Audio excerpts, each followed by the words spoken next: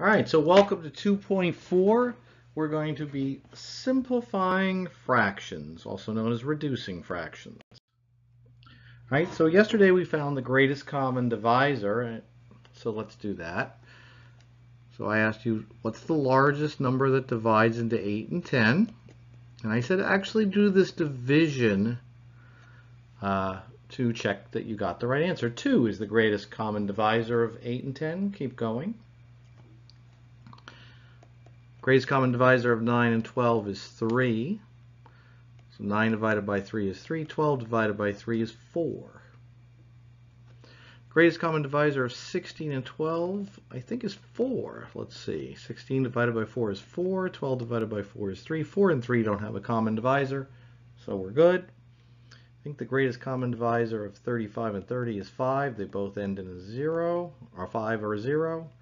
That one is 7 and that one is 6, so there you go.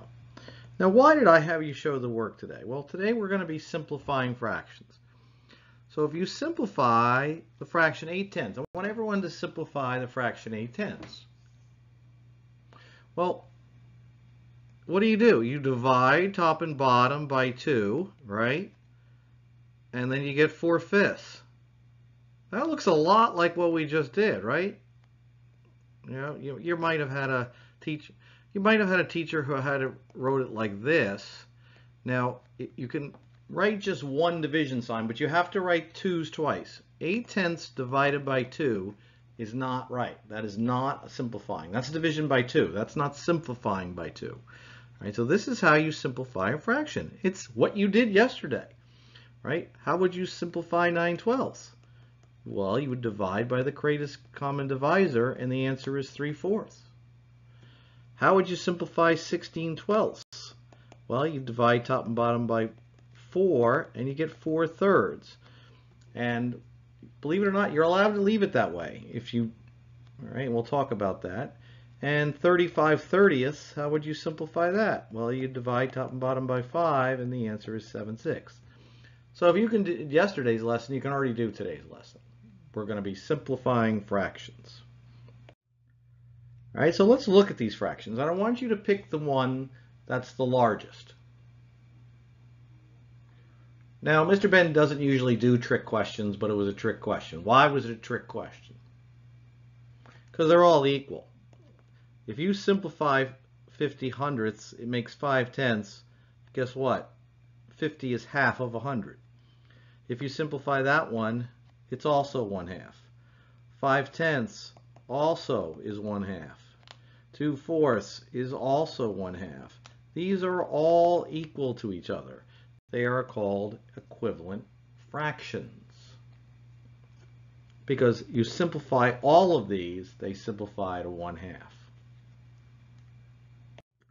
Okay, we're going to make sure everyone can say a fraction first.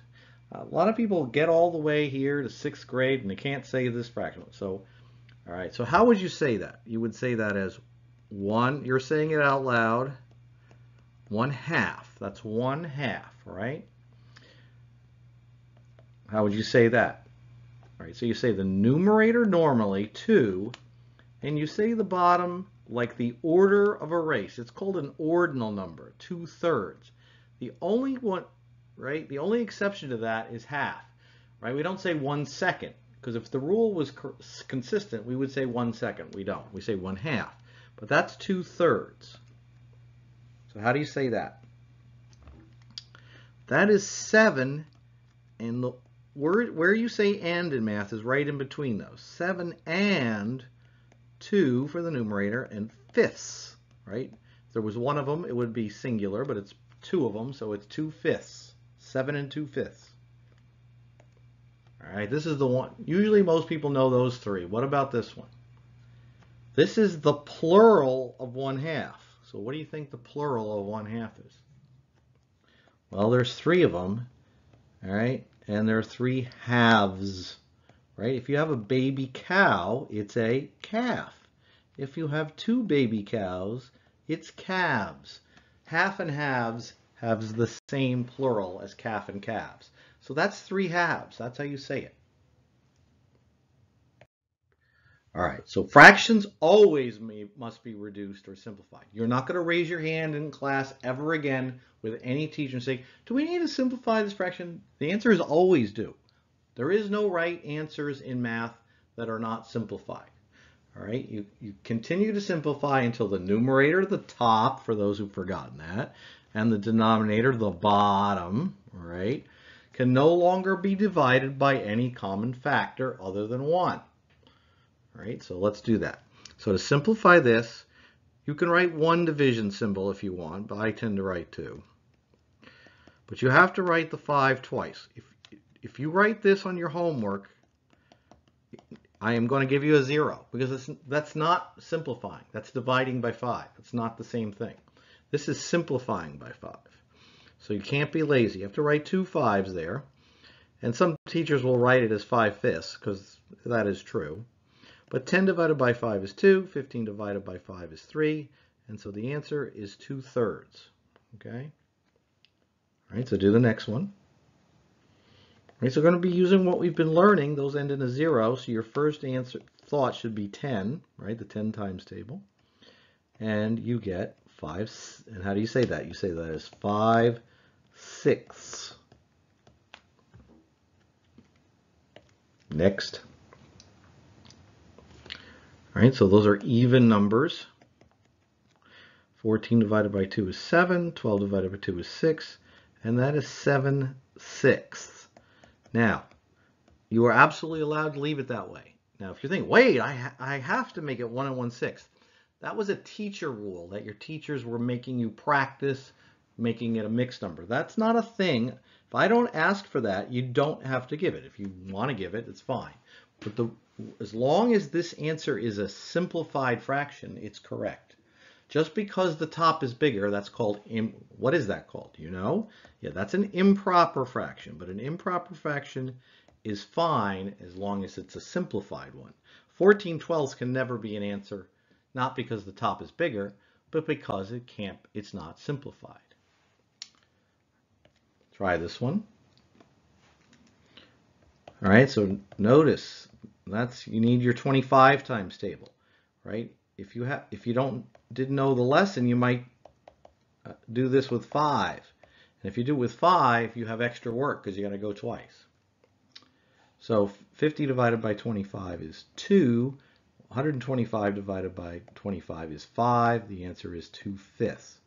So now, unlike yesterday, say you picked 5, all right? You got 10 and well, how many times does 5 go into 125?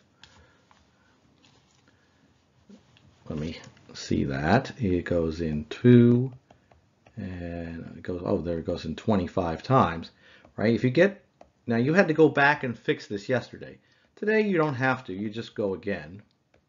But you, you know, as long as you get to 2 fifths, with, it's always faster to use the greatest common divisor but if you use two smaller ones, that's fine today. You'll just have more work. All right, so I'd like you to copy this picture, please. All right, and you're going to figure out what fractions are shown here. Well, out of six rectangles, four are shaded. So it shows 4 6, but it also shows another one right? It also shows two-thirds, so that two-thirds, two out of the three larger rectangles are also shown. So it says what fractions, well, it's 4 sixths and two-thirds are both shown. All right, copy down the fractions that simplify to 1 half. Which ones? Well, 2 is half of 4, so that's good. You should have copied that down. 3 is half of 6, so you should have copied that down. 4 is half of 8, so you should have copied that down. 5 is half of 10, so you should have, whoops, that's our very large one on the top there. I should copied that down. And 6, no, right? That makes 3 sevenths. No, right? 6 twelfths, right? And you should be able to look at fractions and know, yes, they're 1 half, or no, they're not 1 half, just by looking at it, all right? Right, if you and a friend are sharing something, right, you want to be able to look at, if there's 14 jelly beans, you want to be able to look at that and know, well, half of them is seven, right? That's the one. That's a very important skill, not just for math class, but for life. Right, so let's try the next one. Okay, so you don't have to copy this whole thing. So, but that's where three and four sixths would go. We're gonna, you're gonna be copying some number lines another day. So that's three and one sixth, right? Three and two sixths, three and three sixths, and right there is three and four sixths.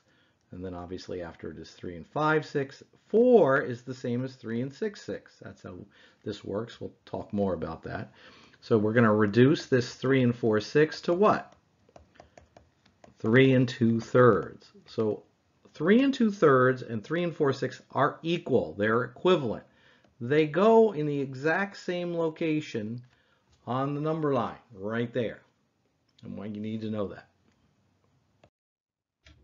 All right, so you don't have to copy this, but 30 students, all right, so this is key. 30 students were asked their favorite sandwich. So let's make sure this adds up to 30. Let's see.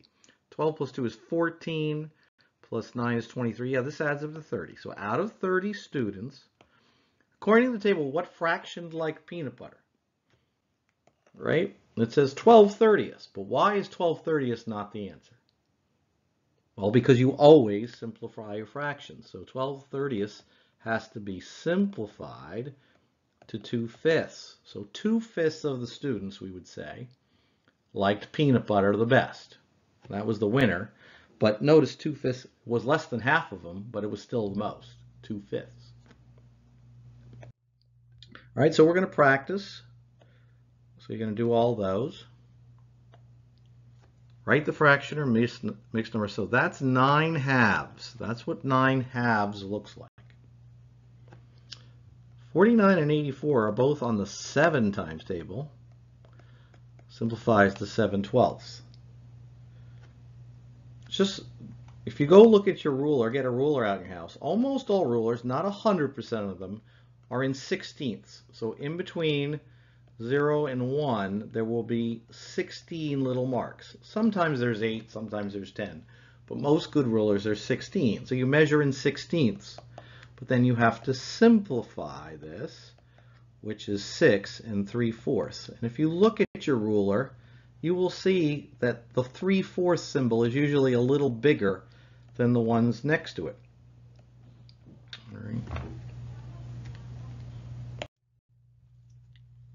And there's, oh, remember yesterday I said you have to know 1,000 divided by 25. Did I say that? Yeah, or there was a, yeah, I did, right? Because 25 goes into 104 times, 25 goes into 1040. So this is 3 40ths. All right, good luck on your homework. Show your work, show your simplified fraction. Thank you.